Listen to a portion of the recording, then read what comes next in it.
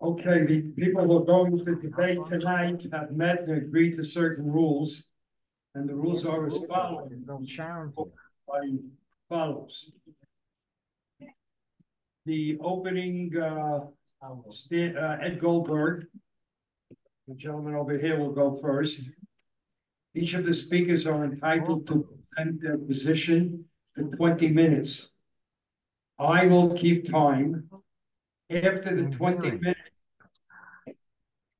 After the twenty minutes, To turn on the video. will be given five minutes to rebut or to. The video is on. to Whatever the other speaker has said. Thereafter, if you're still awake and it's not too late. We will have some questions from the uh audience. Please, there will be no uh insults hurled at any of the debaters. If any of it starts, I will stop it. No sound. Your questions must, Me or them. comments to any of the debaters must be in the form Yeah, of sounds- We question. Yeah. have thirty participants in the video. You'll have three minutes to deliver your question. Okay? Um. Uh, Now, if, uh, this format, if you like this format, you feel you want to do this again. No one is talking. yeah, Please. Sound is let on. either Dave or myself know. We'll arrange for a debate on a topic, and if you don't like it, please let us know also. Thirty Um, people are on the video. Goldberg, Ed is a long-term resident of, uh, the village. He happens to live in Ainsley. No Ainsley. sound. They just said you need to mute the, the He happens to live in Ainsley. Turn on the video sound. In, in the They're street, saying there's no and sound. Ed will be taking the side Okay. and going first that the Times is in fact anti-Semitic. No, no, no, no, no, no, no, no. Stanley will go second. Okay, Stanley spent his, most of his working career Oh, no, now I lost. Oh, working for the New York Times. And of course, he will be presenting the position that the Times is not anti-Semitic. So please give them your ultimate respect. Please no personal comments. I will be keeping time. I will let each of the speakers know when there is one minute left of their twenty minutes. Okay. Hi, my name is Ed Goldberg. By the way, if you are here to hear me say that the New York Times is biased, you're in the wrong place. Biased, biased is a very weak word. The New York Times is taka totally one hundred percent anti-Semitic in their essence, in their core, and even criminally, even criminally. Now, let me, I will talk about three different specifics when it comes to that. That's a total surprise. I can't believe she did that. Anyway, okay, let's talk about anti-Semitism and anti-Zionism. If you, some of you remember here about five hundred years ago, when what it meant to be uh, an anti-Semite was that they were all against our religion. And if you converted, you weren't thrown out of the country. Five hundred years ago in Spain or whatever. A Few centuries later, it was no longer religion, it was the programs, and if you don't belong in that country, you should get your own country, anti-Semitism. A few years after that, race, remember, race became, you're a Jew no matter what, even though your great-great-grandfather was the only Jew in your family, your race is Jewish, and therefore I'm gonna kill you. Anti-Semitism. Now that we have a home country, or a country, Zionism is the new word for anti-Semitism. Now, if you don't believe me, look at what's happened. First of all, Congress voted a year ago, three hundred and eleven to fourteen, that Zionism and anti-Semitism is the same thing. Now, when you see all these bookers walking in the campus in Harvard with their yarmulkes and their tzitzis hanging out. And these these Palestinian demonstrators attack them. They don't ask them first, oh, before I attack you, are you a Zionist? Because to them, as to the rest of the world, anti-Zionism is anti-Semitism. Same thing. Who am I to say, no, no, no, you can be an anti-Zionist, but that doesn't mean you're anti-Semitic. You are. Second item, op-eds.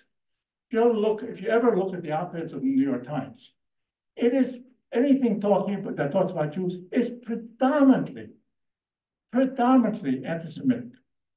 Now you can say, well, op-eds have nothing to do with paper. They do. They do. If if it's predominantly anti-Semitic, every single article about Jews is anti-Semitic. That's the core and the essence of the newspaper. That is what they stand for. Because they chose the people that attend or that write for the op-ed.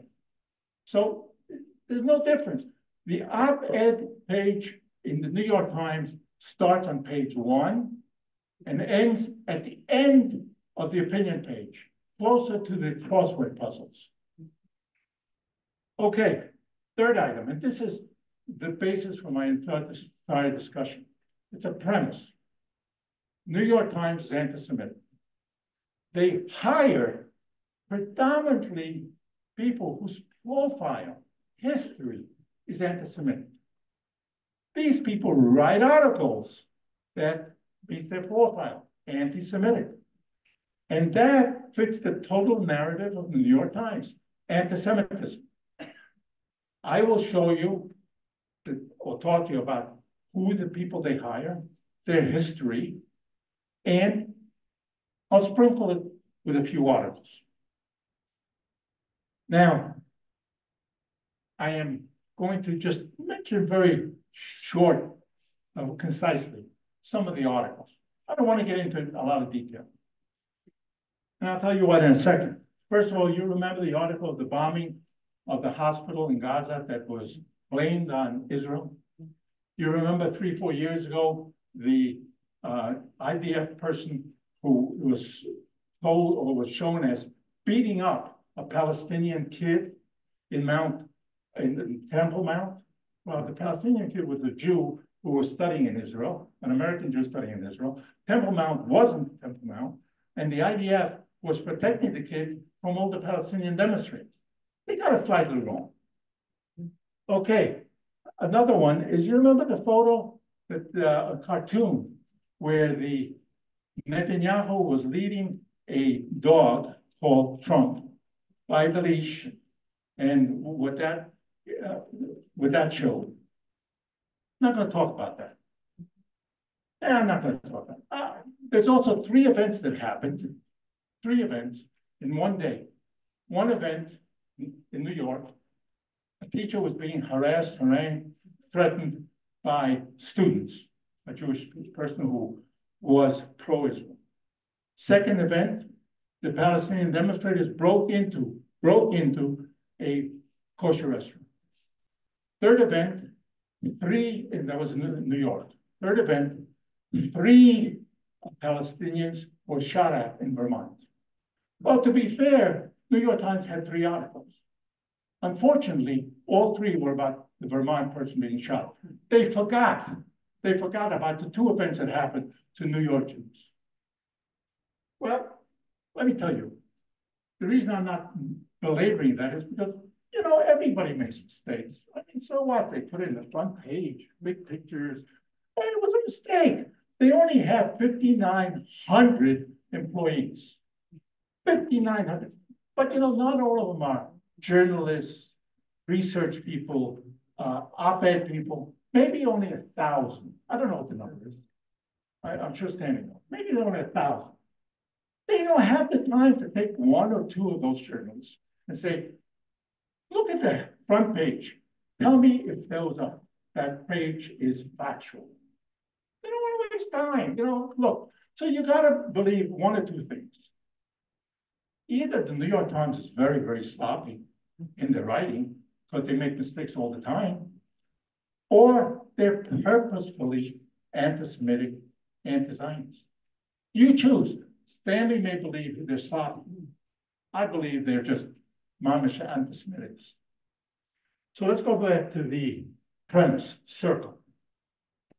Okay. In the beginning, in the beginning of the New York Times was eighteen ninety-six, Ochs bought the newspaper. He was Jewish, Reformed Jew. One of his main fears was, since he was Jewish, that the New York Times would be viewed as a Jewish paper. So he made, he did everything he possibly could to make sure that nobody knew that. Very few stories, very few items about Jews were mentioned in the Times.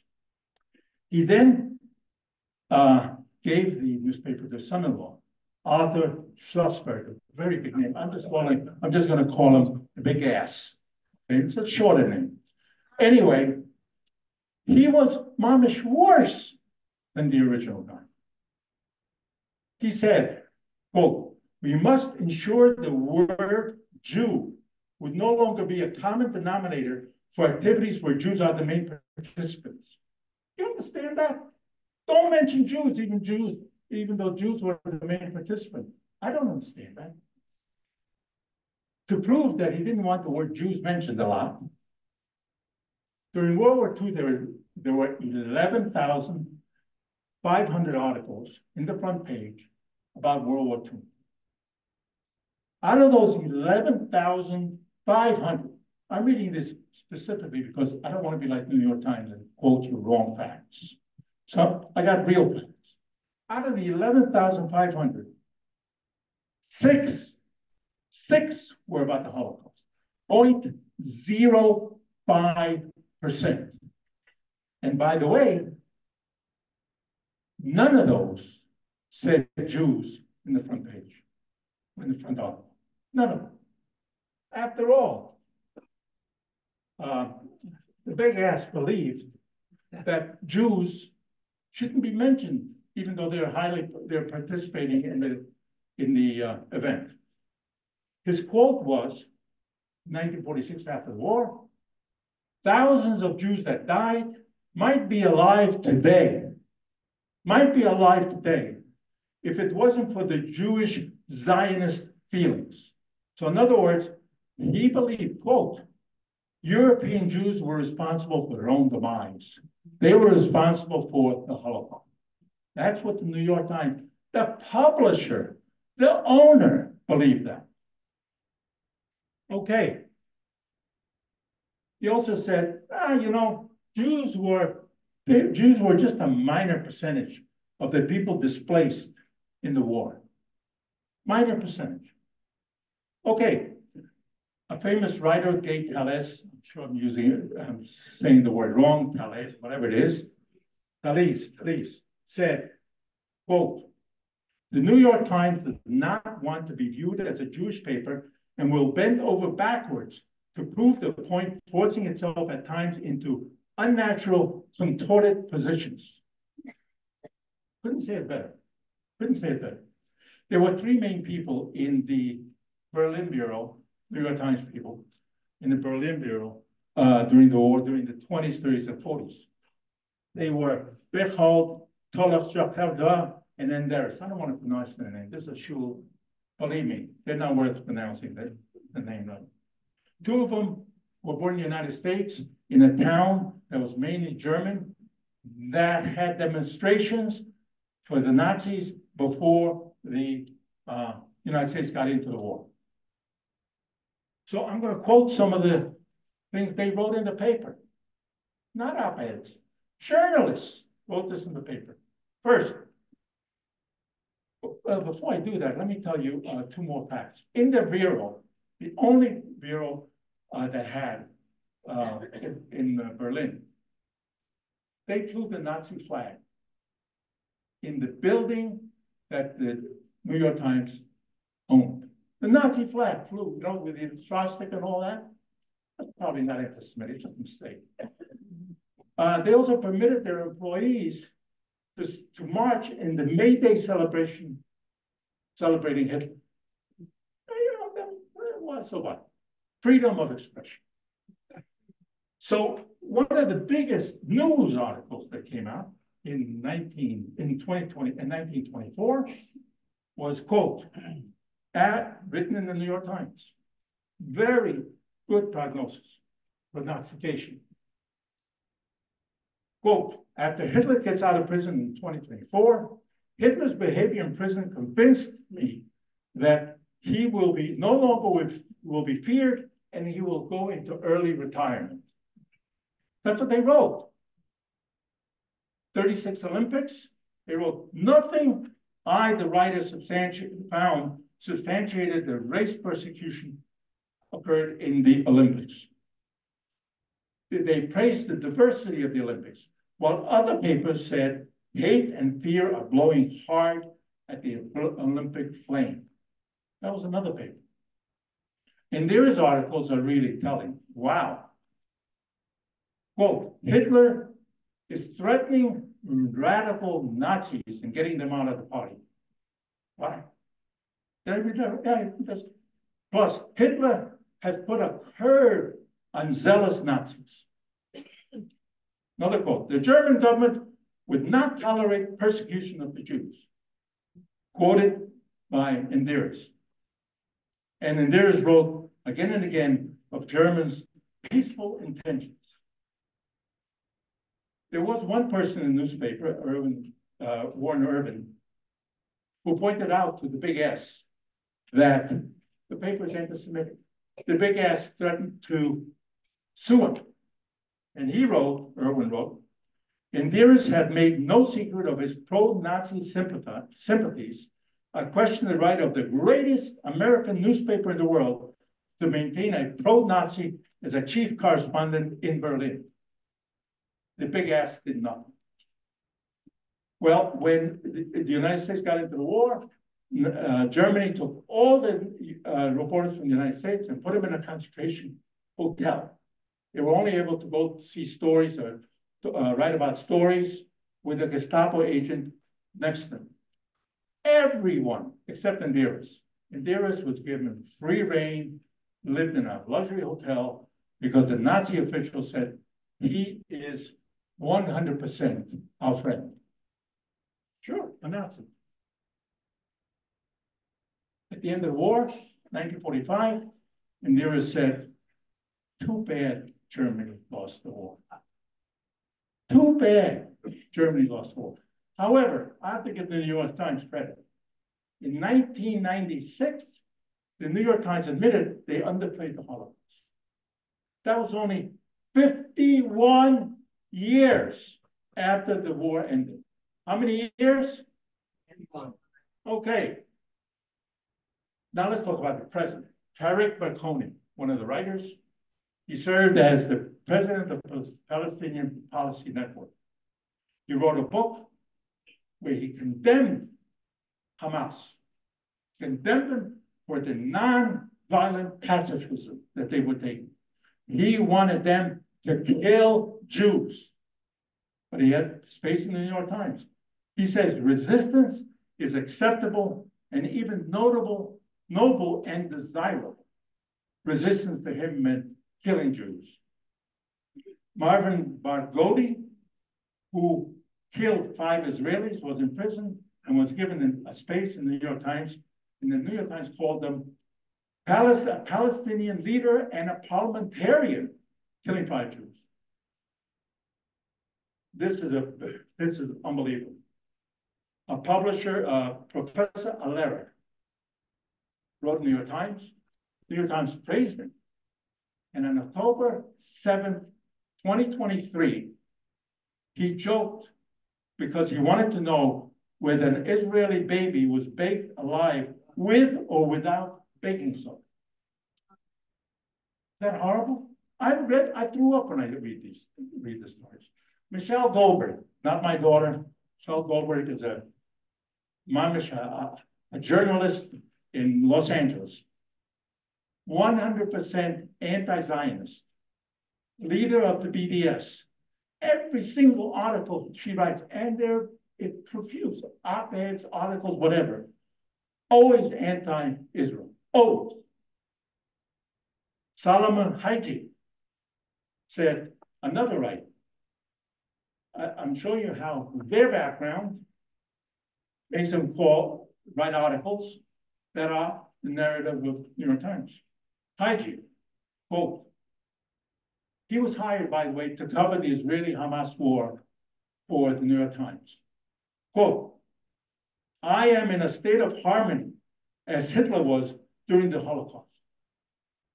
This Facebook post next to a, picture of Hitler said, how great are you, Hitler? How? This is a person that was hired by the New York Times. And he was hired twice. The first time a few years ago, then he was fired and he hired again. Patrick Kingsley talked about the rescue of the hostages. Now, I, I'll talk about that in a few minutes. But there were two people, two people that were pro-Israel. Bari Weiss, who quit, and she said, in light of my recognition that the paper of record no longer has room for journalism, journalists who refuse to, to fall in step with the far left and are anti-Semitic in their political narratives, and that is the New York Times Bible. I quit. Very high, highly distinguished uh, woman. Bret Stephens, everybody will bring Bret Stephens. I'm sure that my uh, opponent will talk about Bret Stephens for half, half his time. The model, you know, person that, that really ends up showing that he is the exception to the rule, that makes the rule. He said, the Times has a long-standing Jewish problem, continuing into the present day in a form of intensely adversarial co coverage of Israel.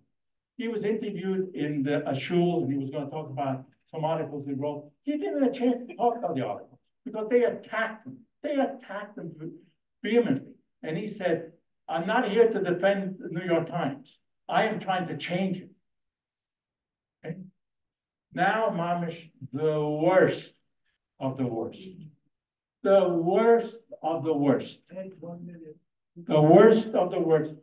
Tom Friedman.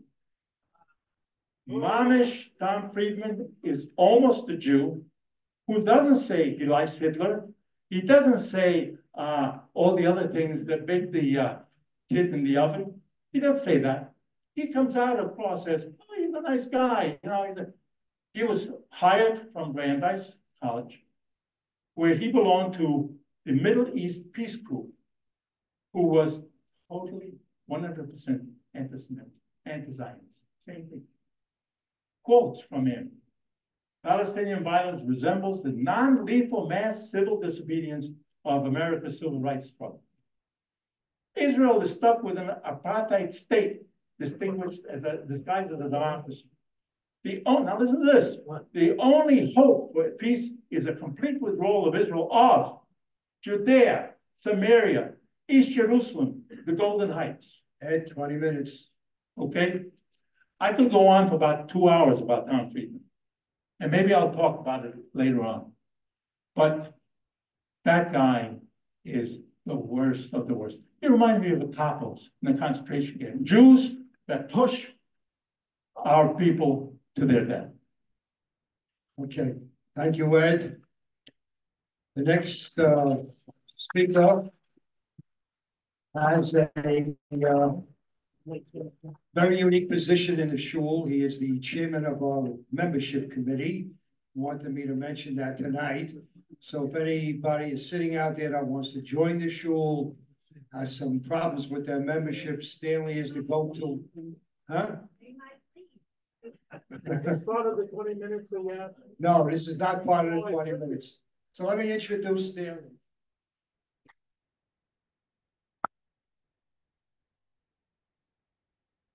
I know Stanley more than, longer than I know my wife.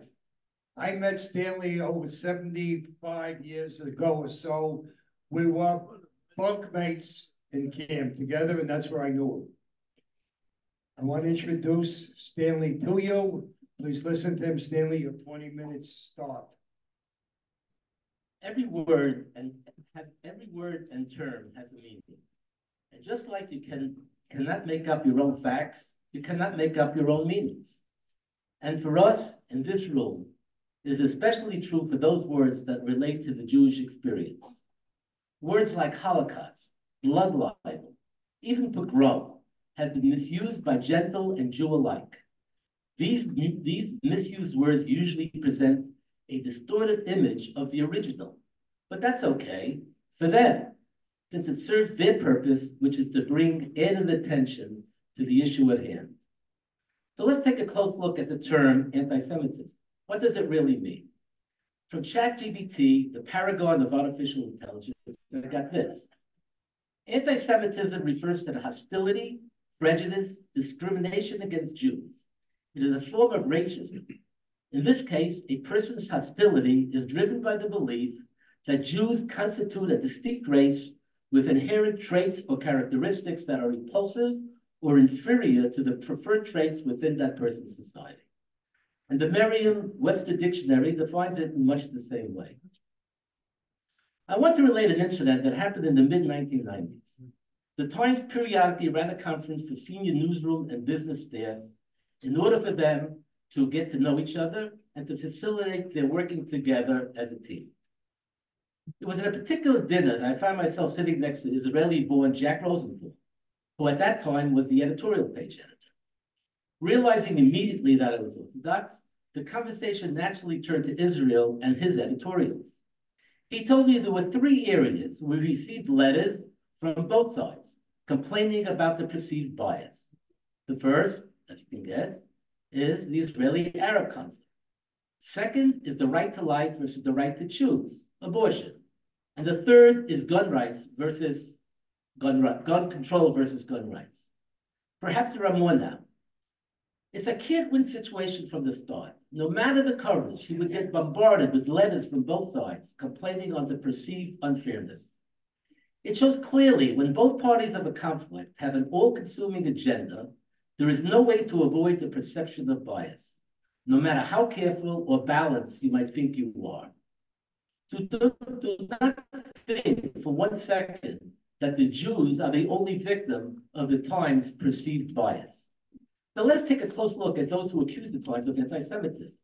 Initially, we must acknowledge they are virtually all Jewish, mainly Orthodox for sure, but certainly a, a significant percentage from the other denominations and non-affiliated as well. Let us ask ourselves, are these accusers fair-minded? If this were a Din, a Jewish court, would any qualify to be a fair-minded judge? I would say no. Are they Pashala Aedis, unfit to be a witness? I would answer, absolutely. Why are these answers true beyond a reasonable doubt? Because they have an agenda, a bias of their own, if you please. They love Israel in much the same way we love our grandchildren. They are perfect. They can do no wrong. And given that they could do no wrong, every single negative article or opinion written in Times about Israel is always considered to be biased, regardless whether it's true or false. Therefore, in their mind, these articles are in the paper for some nefarious reason. We must ask, how do these Times bashers know so much about what the Times writes? Do they actually read the paper? There are a few ways. A small minority actually are Times readers, very few. Or they once were Times readers and canceled, more than just a. There are all, they are also those who receive selected Times articles, like from like-minded friends or relatives, that put Israel and Jews in a negative light, but they never receive any that put them in a positive light. I know that Ed often gets his information that way because he told me so. There are, then there are those who get all their information from the Jewish media. They, the, they these sources scour the Times daily, cherry picking the negative articles about Jews and Israel particularly, and either offering an, offering an alternate opinion or presenting counterfacts that may be true or false or selective. Have you ever read an article or editorial in any of these sources that reflects poorly on the Jews of Israel? Of course not. Their, their advertisers would cancel their ads, not to mention the hit on their circulation. I once wrote a letter to the editor of the Jewish press asking why they did not cover the nursing home scandal that was all over the TV and the secular newspapers. Their response was, and I quote, we do not wash our dirty linen in public, followed by some advice as how Jews must do this and that and not publicize any negativity. And finally, they hear it from their rabbi or other Jewish leaders. Have you ever heard a rabbi or a Jewish leader criticize Israel? Of course not. Goodbye lifetime contract. And when they say that the New York Times is anti-Semitic, they get what amounts to a standing ovation. I've seen that. There's no question that the Jewish media and leaders all have an agenda. And that is to support and defend Israel against all criticism from all sources, valid or not valid, employing whatever means necessary that will do the job. They are exactly like MSNBC and Fox News in this regard. Have you, have you ever seen MSNBC say a bad word about Biden? Have you ever seen Fox News say a bad word about Trump? Never. Yes, yes. I want another pencil. And what is the reason given by these accusers as to why the New York Times is biased against Israel and Jews? It's because they are anti-Semitic. You just heard that. And how do they know the Times is anti-Semitic? Because they're biased against the Jews and Israel. No other reason is offered. The reasoning does not provide any external evidence or independent support for either side of the argument. The beginning of the premise is also its conclusion. This type of analysis is called circular reasoning and it has no basis in, in logic. It's the same thing as saying the New York Times is anti-Semitic because they are anti-Semitic. A simple example would demonstrate the point. My son is tall because he is six foot two. And why is your son tall? Because he's six foot two. There's another reason why the Jewish media and leaders and the accusers want to would want to discredit the Times, even if they agree that a particular negative story is 100% true. That is to show loyalty to Israel, right or wrong, no matter what. But maybe there's more here that meets the eye. How loyal were they when they strongly disagreed with Israel's policies? Think back to the Oslo agreements. Did the Jewish media and the Jewish leaders speak out in support of, of the Israeli agenda then? Did the Orthodox community? You know the answer. You should remember the demonstrations with the banners reading, Rabin is a traitor. His entire government was viciously and continuously attacked in the Jewish media and by many of our leaders, which arguably, arguably, could have been a motivation for Rabin's assassination. What is unarguable is the glee that many of his distracteds felt when he was gone from the scene. Even the rabbi of Mishul, of Mishul said he got what he deserved. Furthermore, do you honestly think they will be loyal if a new government pursues a two-state solution? I cannot predict the future, but I would willing to bet my last dollar they will that they will give them the Rabin treatment. So is it possible, even just a little, that this campaign against the Times is also part of a battle to keep the current government and its policies in power, hmm. rather than turn it over to those with a different agenda? No. Think about it. Hmm.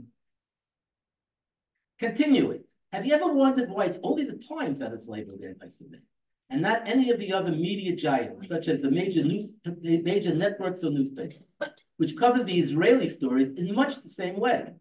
Let me offer an explanation. The Times has won 132 Pulitzer Prizes for excellence in journalism, by far the most of any publication. Not only is it universally recognized as the finest and most influential paper in the world, it also has a wide reach with nearly 10 million digital subscribers and growing, the highest in the world by far, and a print run of 279,000, the second largest circulation of all the papers in this country. It is read by all the important people everywhere. It is quoted by all the media giants except for perhaps Fox News, and therefore they are the target. Because of their agenda to protect Israel's positive images, these Problem.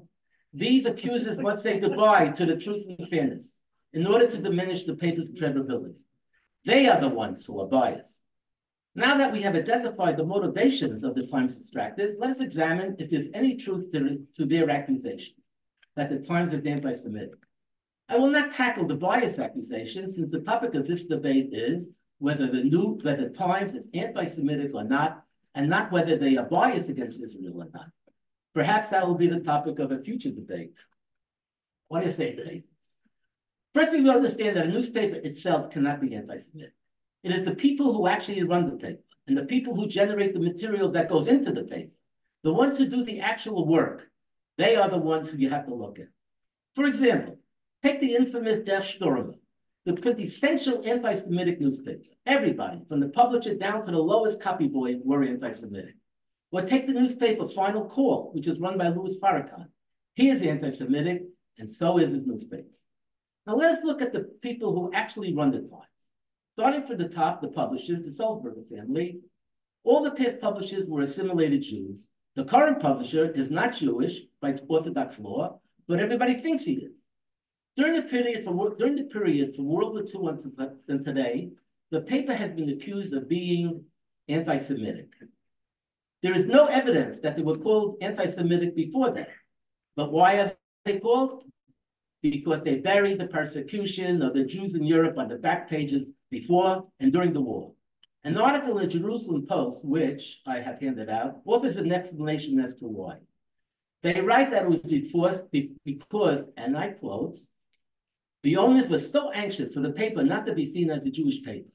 The Post continues that when Arthur Ochs Sulzberg became publisher in 1963, the Times acknowledged its culpability and apologized, saying they were deeply sorry and called it unacceptable. The real word there, they were haunted by their, by their coverage. The entire Post article is in the handout in the front. You took it. Uh, in addition, the New York Times today is not the same it was 80 years ago. Nevertheless, no, no matter how much time has elapsed, and no matter how many apologies are offered, and the charge does not go away, but rather is kept, is, rather is continually kept alive by the Times detractors, as you just heard from Ed. The publisher oversees both the news side and the business side, so we should follow that if you are if you are anti-Semitic on the news side, you would also be the same on the business side. Dis- Dispensing with the business side quickly, I worked on the business side for nearly 29 years, from 1972 to 2001. There were many Jewish CEOs, vice presidents, CEOs, vice presidents, and directors. And during my tenure, we were all treated with respect, and all our religious needs were accommodated. Never a problem. On the news side, let's look at the paper who produced the paper. Let's look at the people who produce the paper every day. The top job is executive editor, who determines the tone and tenor of the paper. He also assigns the length and the position of the important stories. If there's any anti-Semitism in the paper, it was definitely a result of his or her leadership. In the past 50 years, half of those holding this position were Jewish. One, the son of a Reform rabbi, one a woman, a Jewish woman, and then two of the most respected names in the history of journalism, Abe Rosenthal and Max Frankel. I want to focus on Rosenthal, who held that position from 1977 through 1986. During his era, the Times was continually accused of being anti-Semitic, particularly during the war in Lebanon in 1982, known as Operation Peace of Galilee. It's too long a story to recount here, but because of my access to the archives, to New York Times archives at the time, I was able to prove to myself and to some of my contentious friends, some of them are here in this audience, that the charges were untrue. Catch me at the AZ pool and I'll tell you all about it. Now skip forward a few years. Rosenthal had retired from his ex- executive editor post, and he now wrote a two times a week column subtitled On My Mind. The majority of his essays were pro-Israel, and he was lauded by the entire Jewish community in much the same way that Bret Stephens is lauded today. In reality, Abe was the same person he was before, but now he had the opportunity to express his own opinions, which are arguable. But when he was executive editor, a journalist through and through, he was presenting the facts, which are not arguable. Really not. is this man, was this man, could this man be an anti-Semite? Now let us examine the other people who make the paper what it is. We are talking about hundreds of people here. The managing editors who hire all the personnel and collaborate with the executive editor. The news editor who is responsible for ensuring that everything in the paper is fair and balanced and conforms to time style and usage. The correspondents, reporters, and analysts who write the raw copy and the researchers who support them. The desk editors who supervise the copy editors who edit the raw copy and write the headline. The graphic editors, photographers, and picture editors, and their supervisors who handle the graphics. And finally, uh, finally, the editorial page editor, who is responsible for the editorials, selecting guest contributors, and reviewing op-ed articles. What type of person fills these jobs? Putting it mildly, to get a job at the New York Times is a very, very good for one's career. And only the cream of the crop are chosen. If any of them exhibits the slightest bit of bias, they are immediately disciplined or terminated. We witnessed that just yesterday. To think that all these dedicated and ambitious journalists, the best of the best anywhere, would endanger their careers by conspiring to distort the truth is beyond credulity. If that were remotely true, We would have heard about it from many other sources over the years. All the tabloids love, all the tabloids love to gossip about the New York Times. I will conclude by picking on the columnist that has been vilified the most, Thomas Friedman. Uh, he is Jewish, of course, with a Jewish family, and a Chabad sister living in Ramat Bet Shemesh with her family. He became the Times bureau chief in Israel in 1984 and started his op-ed column in 1995.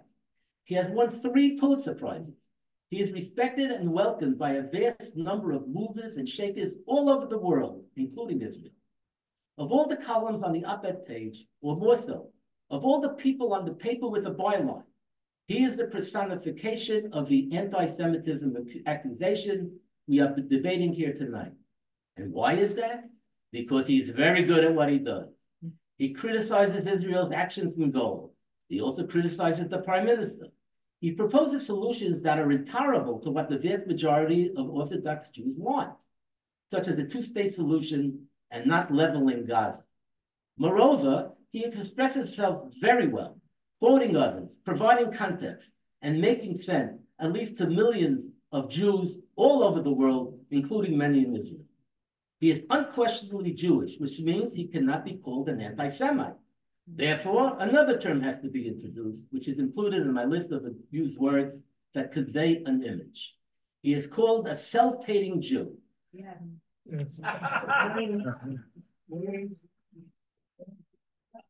I'll say it again. He is called a self-hating Jew, and he is called a self-hating Jew, especially by Ed Goldberg, who never refers to Tom Friedman without, uh, without adding on that self-hating Jew. The images that come to mind are Pablo Christiani, Noam Chomsky, and George Soros. Ed never refers to Friedman without pointing out he's a self-hating Jew, whose opinions are therefore tainted. What I have never seen or heard from anybody are specific points that would, would belie Friedman's assertions or solutions. Never, not from Ed, from anybody. Therefore, his critics must rely on name calling, the last bastion of those who have no valid arguments. In conclusion, it's quite all right to disagree with the Times in their coverage, in their opinions, and in the management of their company. However, to even put them in the same category as the anti-Semites we all recognize, the Crusaders, the pogrom and blood libel participators, and the murderous Nazis Yimach Shemam v'Zichram, may their names be and memories be erased, is a disgrace to our holy martyrs who are, who are holy martyrs who were victimized by the true anti-Semites. Lumping the New York Times together with those anti-Semites, anti-Semites is over the top. Way, way, way over the top. I'm sorry. Too often, people make no distinction between anti-Israel and anti-Semitic. Even the lauded Ben Shapiro. There was a recent lecture entitled Anti-Semitism on campus, college campuses when he characterized the protests as anti-Semitic, although many of the protesters are Jewish and non-Muslim. The demonstrators were definitely anti-Israel, no question about it. And iffy anti-Semitic, you can't keep those guys away. So why are they characterized as anti-Semitic? Because anti-Semitic has the zing that anti that anti-Israel doesn't have.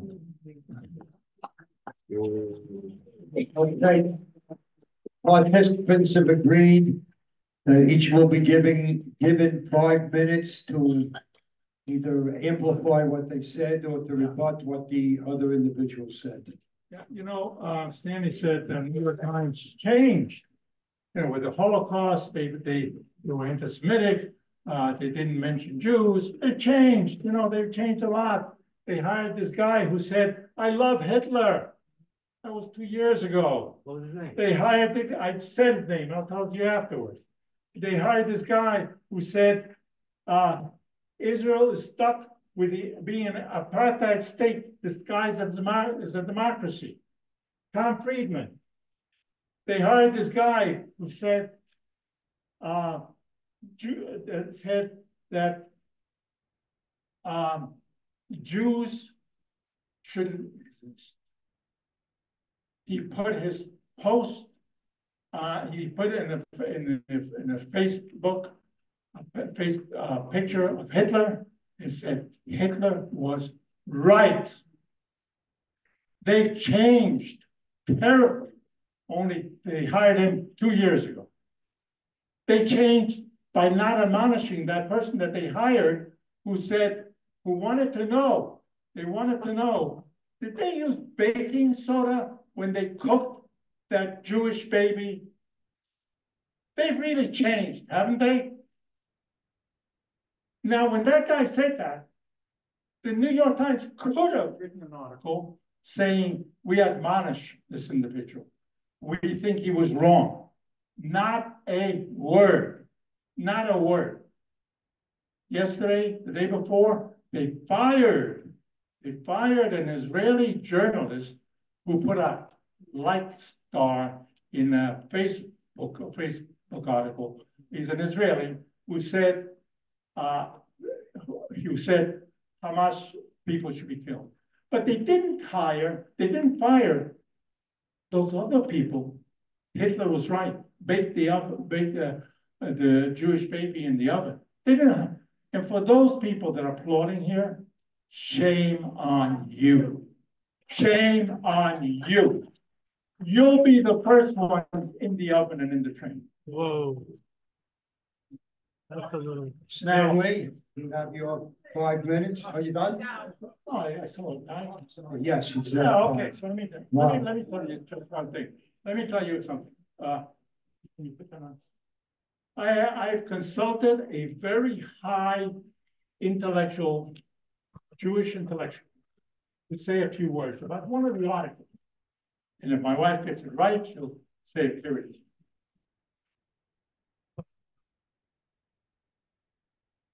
I can, let me get it right in a minute.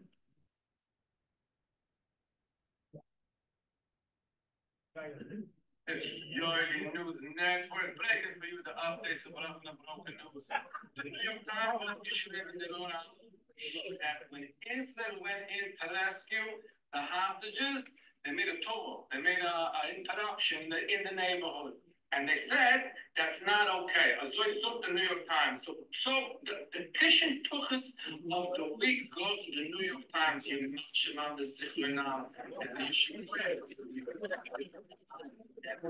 Take them Yes, the New York Times has really changed, haven't they? The neighborhood was destroyed. My God, a few Palestinians, not Hamas people, were killed.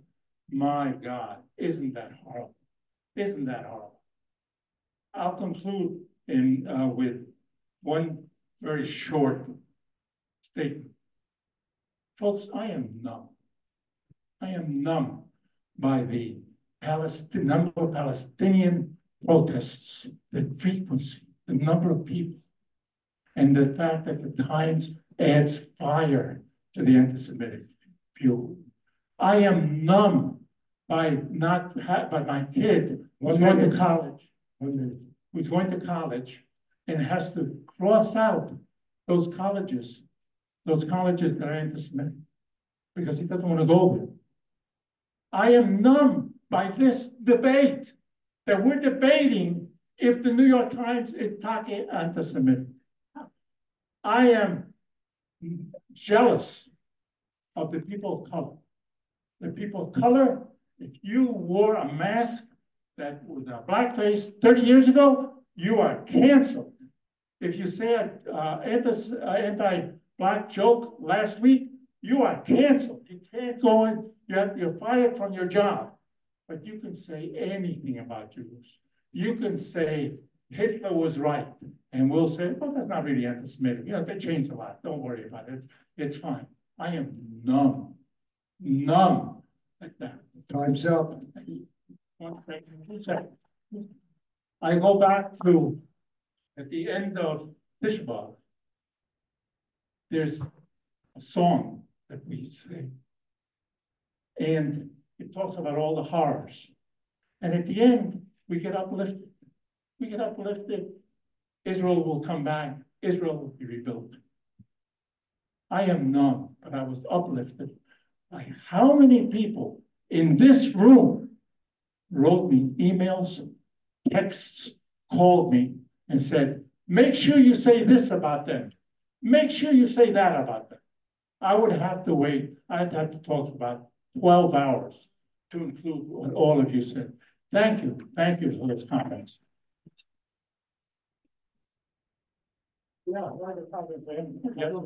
Stanley, Hitler was right, and defend that. Defend that. Ed, no personal attacks. We agree. Then we decide if we will not make. personal attacks. I mean, if if you want to, fine, go ahead, I can take it. I've been called one. I'm not- Are we okay? Yep. First notice that I did not respond, did not rebut my speech, but continued his twenty minutes with another five minutes. Why didn't he rebut my speech? Because he had absolutely nothing to say that was contra, what are you shaking your head for? You're getting nervous. That rebut my speech because, because it continued his twenty minutes. I knew Ed was going to do this. I knew he was gonna quote a lot of people who said a lot of things. I don't hear any of these guys. I don't know any of, any of the, the quotes. I don't know the context of the quotes. And I asked him very politely, Ed, like a defense attorney, and he's the prosecutor.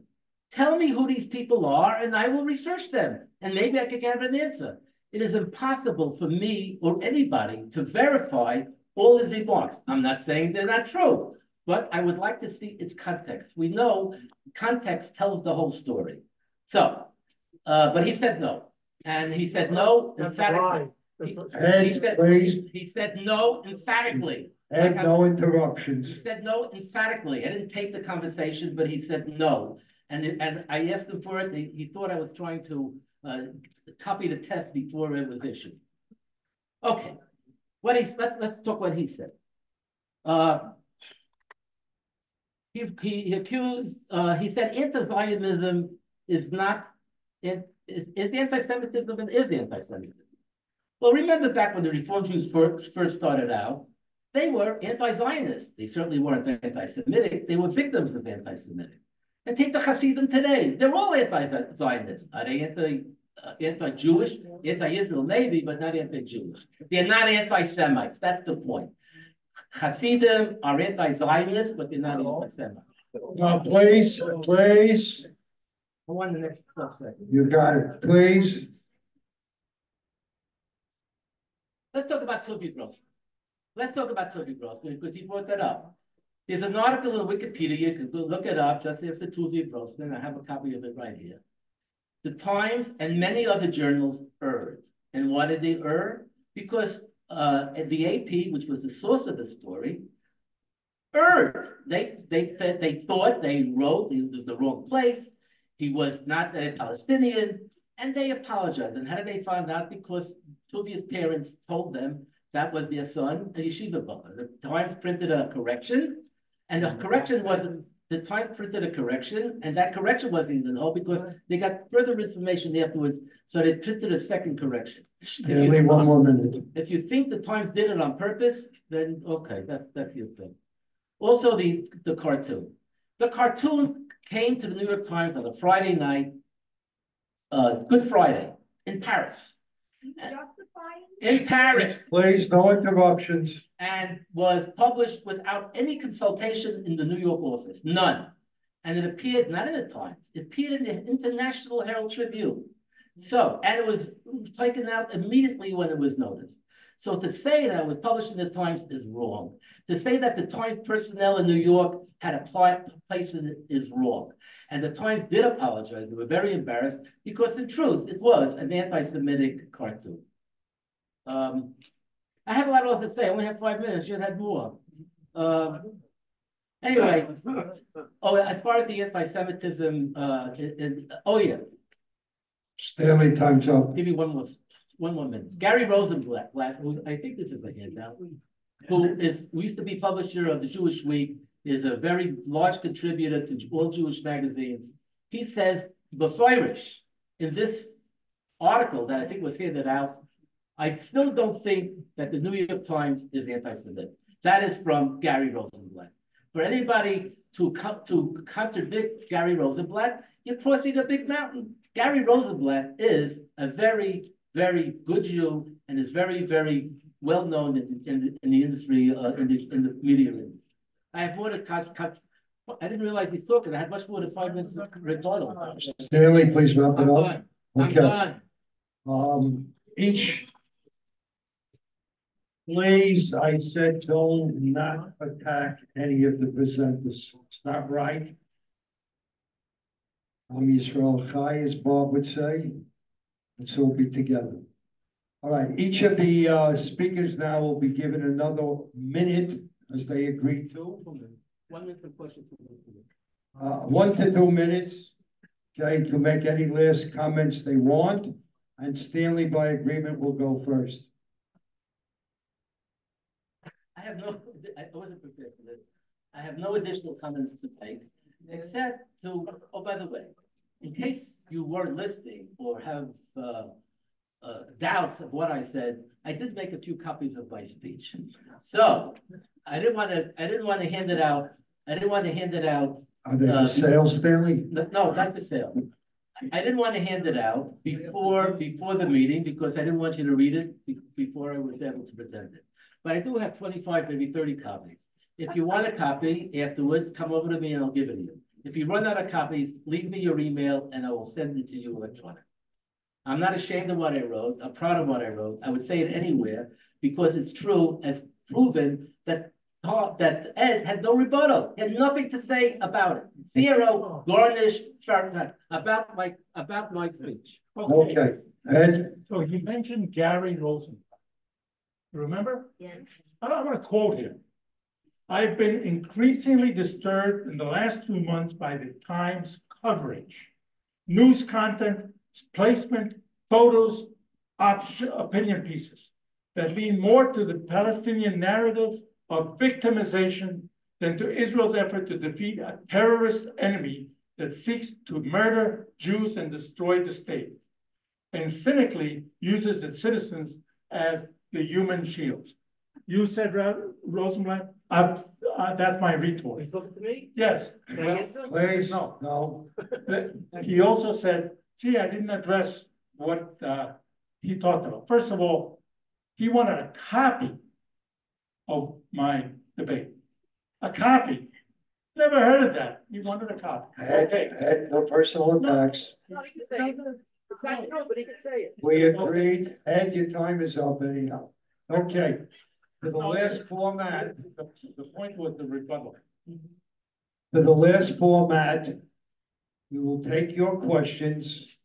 They can't be heard, microphone is up here, please come up so everybody can hear you. Please identify who you are. Okay, and remember, questions only, no comments or attacks. Vida Miller, Ainsley, I love voice. Yeah. Um, Vida Miller, Ainsley, um, I'd like to thank both presenters.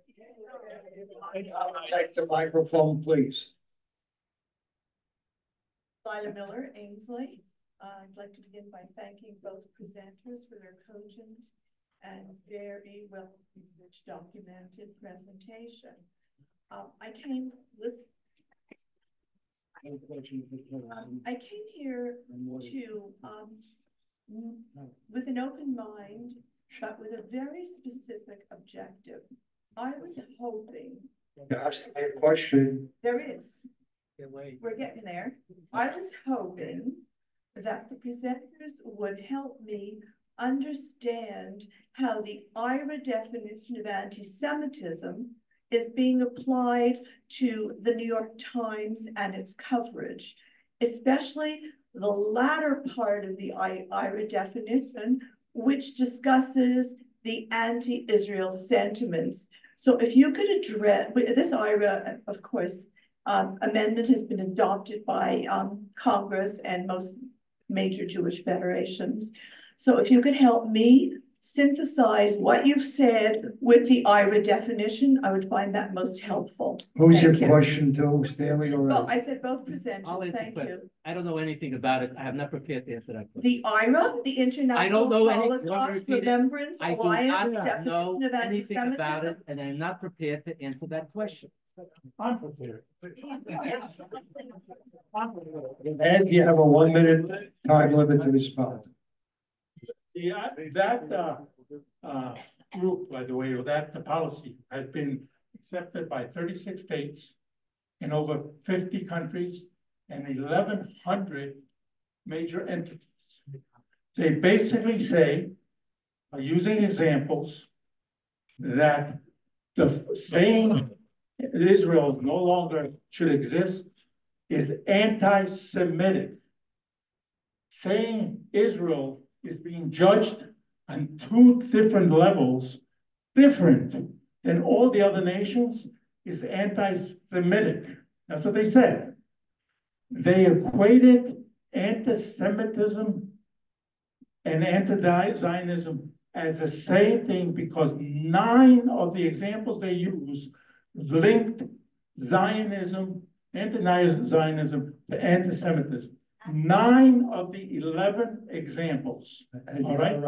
So, so, so if Stanley does, it's very convenient that people don't read that, but if the United States Congress passes three hundred and eleven to fourteen, a regulation that says the United States, Ed, that you gotta that. Zionism and anti-Semitism is the same, I believe them. Okay, Stanley wants his minute back. Give it to you on it back. The Times has never called for the destruction of Israel. The Times has very been supportive of Israel to continue to exist.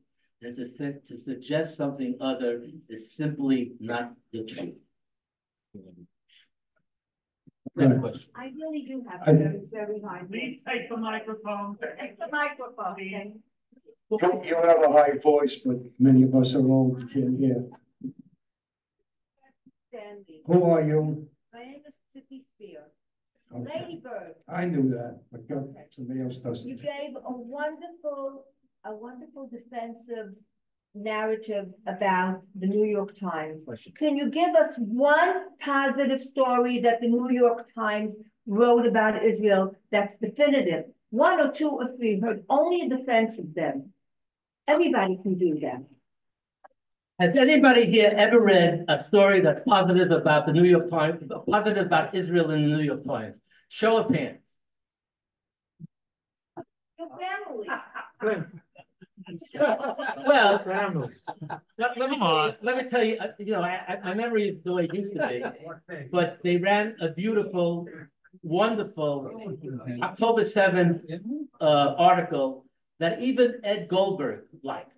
And in fact, he complimented, finally, the New York Times has something positive. And they have biographies and, and, they and, and if you talk about recently, they have a lot. I mean, I can't, I, I wanna have no memory. Tell me questions in advance. You think I'm gonna go research? I don't know the answer to that. I do remember that one.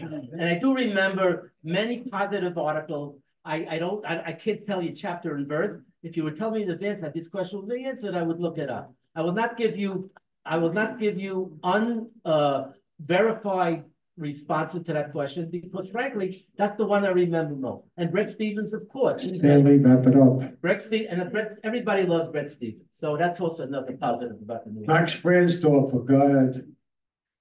That'd be nice to Staten Islanders. Go get him the phone. Give him the. Max, Okay, the question is for Stanley. I'm Max Branswell. Uh, A couple of things. I read the Times for forty years till I finally threw up and threw it out. Okay, some of the, some of the points I want to make, you're right. Some of this stuff is very subtle. For instance, I remember a story, let me finish, let me finish. I, I want, I want, to, I want you to explain it. I want to explain to you. We find- we find- I saw, no, I, there's a story about a, a- a get to a suicide bomber, wait, story about a suicide bomber on the front page of the New York Times with the picture of the suicide bomber's mother. What do you think that message was? I don't know. Well, I know, I don't, know. no, I don't, I don't, but I know, what you're referring to. ten to times. I, Wait, when, when Tom Cotton does a uh, op-ed and the New York Times newsroom goes crazy about it, Yeah. but when they give the platform to a Hamas mayor to do an op-ed piece, what does that mess, what's that message? Tom Cotton wrote an article with unverified, incorrect statements. in. Unverified, unverified. They were Let's talk, let's talk unverified. What's the question? Come on. Right, let's talk about unverified. The New York Times said Israel- Give me a no. chance to answer. It's not a debate. The New York Times requires truth, even in the op-ed. They published You it. need to mediate. They published it, that's why Bob Bennett got fired, because. Um, that's why. talking about Bob Senator Bennett got Packer. fired. Okay, okay, let's go. Arthur Horn in the back. Let's talk about, No, let's no, talk about Max. Max, No Max, question. Really Come one on. question a person. Max, it's a big Bring, one. bring it, bring it up at the pool. Arthur, Max, Max, bring it up at the pool. We, we got, we, we dive into the, the, the- Arthur, we swim in the same pool.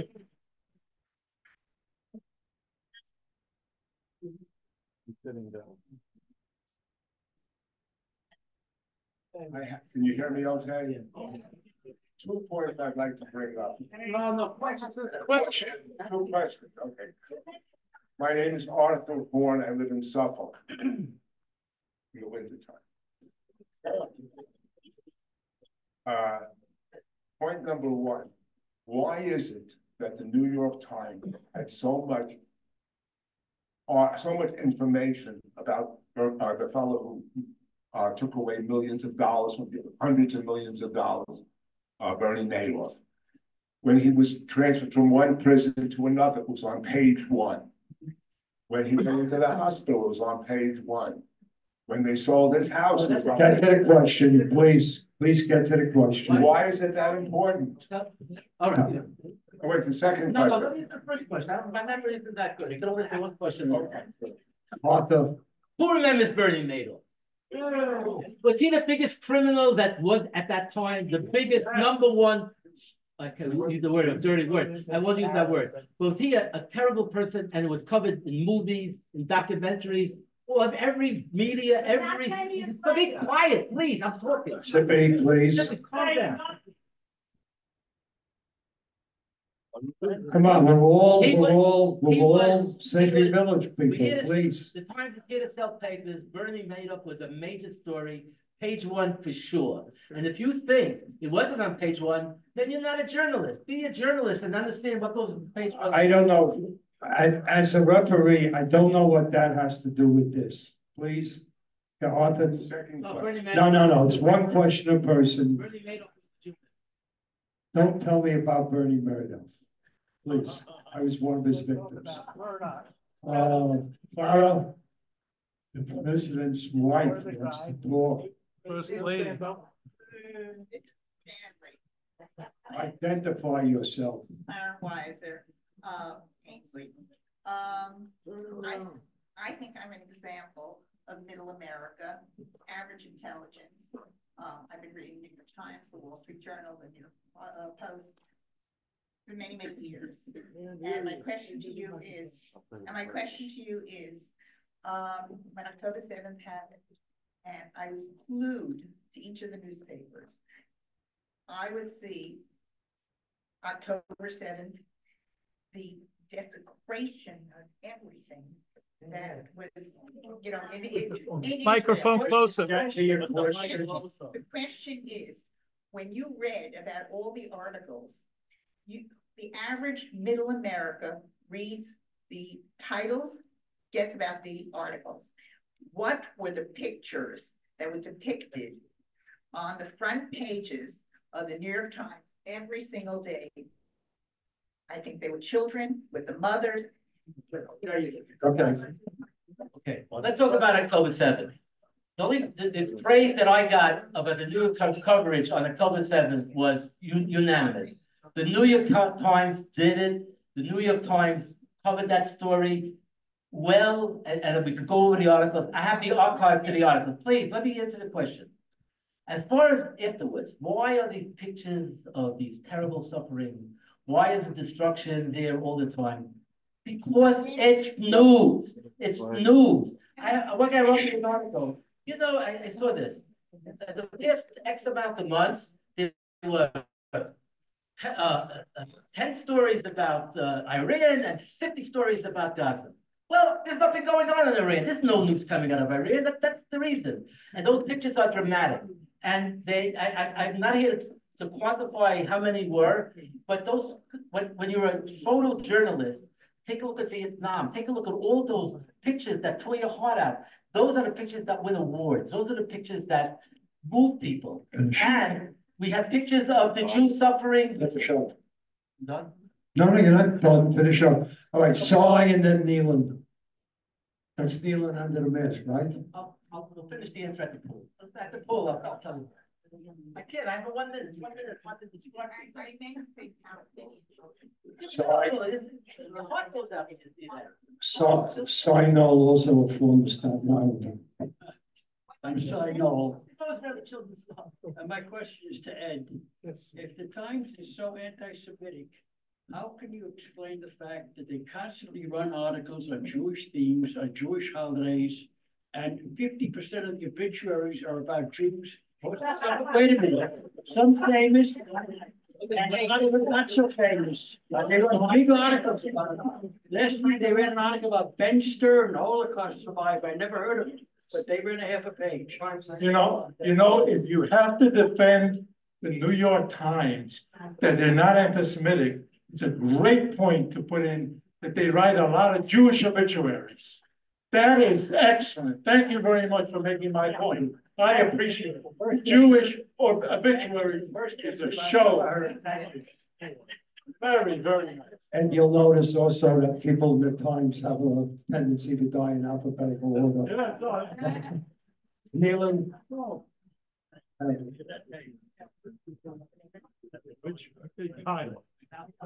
Kneeling Stern.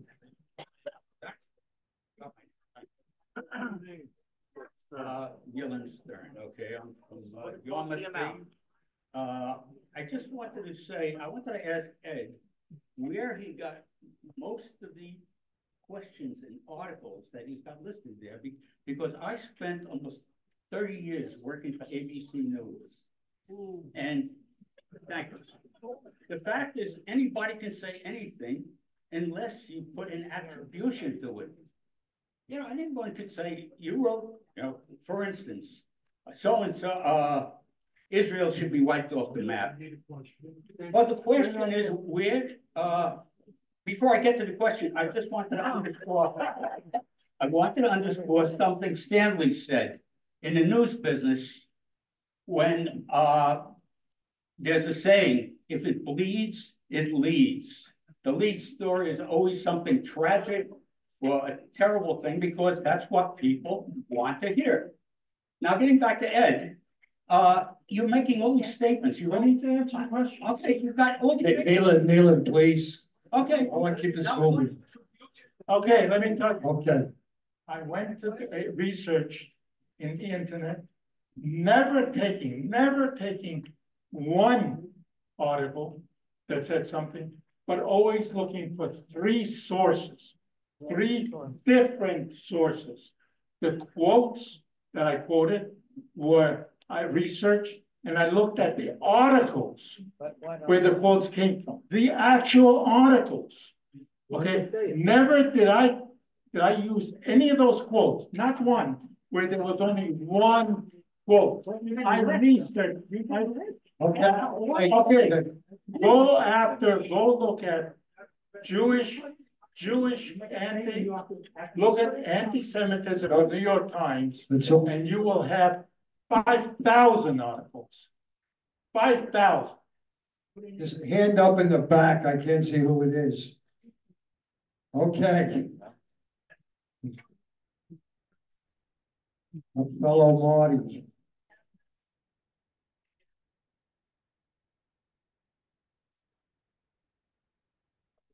No, it's saving time.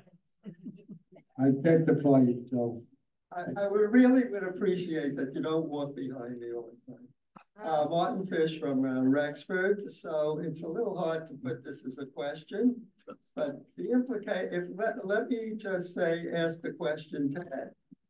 If I said, I believed it was my position that the present Israeli government was an embarrassment, that the United, that Israel needing friends should abide by the Biden request.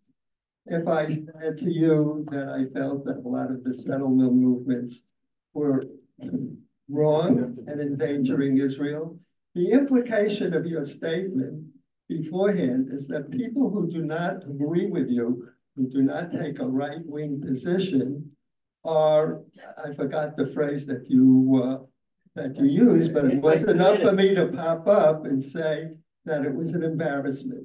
It's sort of similar to a Marty, way. Marty, Marty, Just let me say this, it was sort of similar, it was sort of similar to a position that a few years ago, that someone said to me, if you voted for Obama, you're like the people who voted for Hitler. Okay. I mean, Marty, so, Marty, so my question is, that, my question is, why do you associate people being anti-Israel or anti-Semitic with their political position? And we both, sh- and we both share the same Okay, doctor. let me both, uh, uh, let me both, number one, let me both, uh, first of all, I don't agree with everything the Israeli government does. I don't agree with everything, all the politics and the infighting in Israel. Name one. I, I don't agree with the fighting in the, around the judicial system. I don't agree with Netanyahu, a lot of the things that he does. But, but when one hundred percent of the time I say, what the paper says, they don't agree, they don't agree, they don't agree. And when anti-Zionism is flowing in the New York Times, and every single op-ed piece that I've seen, every single one of them, when I am scared to look at the front page that people send me, where pictures of, of, that I mentioned before, that are wrong, that is this a newspaper? Are they, are they so sloppy in their reporting? Even when they corrected those two incidents about the hospital and about, uh, correction about the uh, soldier, they got it wrong. They got it the second, they corrected a second time. Hey, drop it. Anyway, you can be against Israel politics. Sure, you can be against uh, the United States politics. But if you're always, always against everything that Israel stands, then you're anti-Zionist. I didn't get any questions from this side of the room. Anybody have any questions? I think we are done. I personally want to thank both Stanley and Ed. I know they prepared for this. We had a number of meetings to make sure everything went well and pretty much met expectations. Uh, didn't get too out of hand.